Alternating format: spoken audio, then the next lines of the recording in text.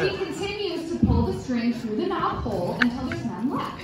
On the other side of the door, the string is attached to a staple gun. Marv pulls, but nothing happens. He puts one foot up against the door and keeps pulling, but nothing. Finally, he pushes over the door, his backside facing the door, and gives it a good hard yank.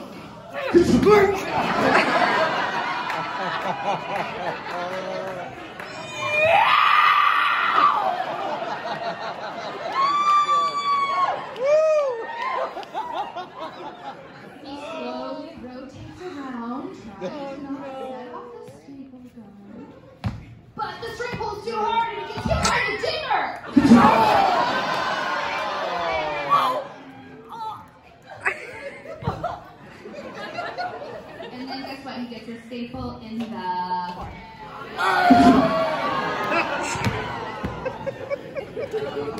I don't know if that's a death, but.